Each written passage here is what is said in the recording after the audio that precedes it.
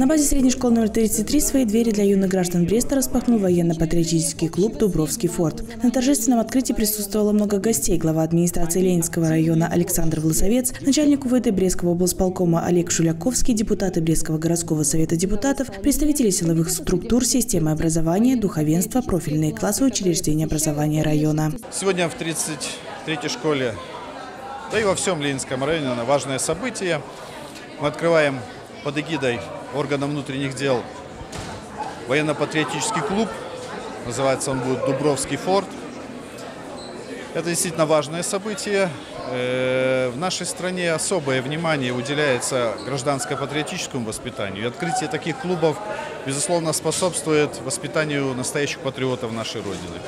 В Ленинском районе это событие не новое, идет планомерная работа. У нас порядка 14 классов военно-патриотической направленности, подписаны договора и соглашения с различными, с различными силовыми ведомствами. Это и Комитет судебных экспертиз, Академия э, внутренних дел, э, значит, э, инженерные классы, классы, которые работать будут по системе органов принудительного исполнения. Поэтому система расширяется наша, конечно, события для наших деток те, кто хочет связать свою судьбу с органами внутренних дел, в дальнейшем будут созданы все условия для функционирования данного клуба и огромная помощь предприятий, организации в создании материальной базы. Все это под эгидой органов внутренних дел нашей области. Во время торжественного открытия патриотического центра его воспитанники приняли торжественную клятву. Из рук генерала-майора милиции Олега Шуляковского получили шевроны, погоны и удостоверения. Вступая в ряды военно-патриотического клуба милицейской направленности «Дубровский форт»,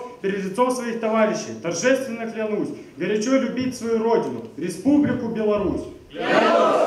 Сегодня в профильных классах и патриотическом центре Ленинского района занимаются более 600 учащихся. В Дубровском форте школьники будут заниматься физической и военной подготовкой, изучать историю страны и вооруженных сил, на славных примерах подвигов наших предков, учиться беззаветному служению Отечеству. Мы будем вас приглашать на все наши милицейские мероприятия, которые у нас проводятся в Брестской области. А у, а нас, у, у нас их очень много, они действительно очень интересные. И э, мы всегда с удовольствием приглашаем и воспитанников клуба, и учащихся правовых классов, потому что ну, вы уже, как можно сказать, наши сотрудники. Уже мы вместе с вами служим. Мы вас учим воспитываем, а вы уже оказываете нам поддержку уже своей, своим поведением, своей учебой, своей всей жизнью. Поэтому в добрый путь, успехов вам и всего самого наилучшего. Сегодня на территории Ленинского района города Бреста открылся военно-патриотический клуб милицейской направленности «Дубровский форт». Мы его решили создать э, на базе школы 33 Ленинского района города Бреста.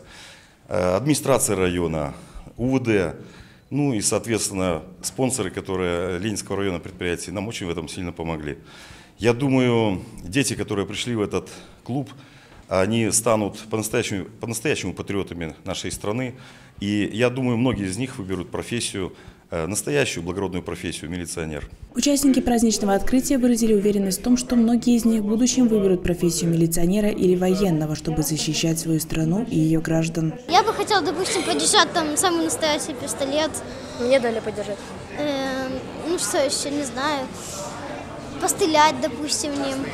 А кем хочешь будущем не знаю, наверное, ОМОНом. Я считаю, что самые старшие должны вести младших, и поэтому я решил, что если я буду командиром, то я буду тянуть всех за собой, и они будут э, очень хорошо служить, нести э, службу на благо школы. Открытие военно-патриотического клуба – это возможность популяризировать патриотизм и гражданскую активность молодого поколения. И эта работа будет продолжена. Василина Буцкевич, Дмитрий Литвинюк, Юрий Лимонтович. Новости Бреста.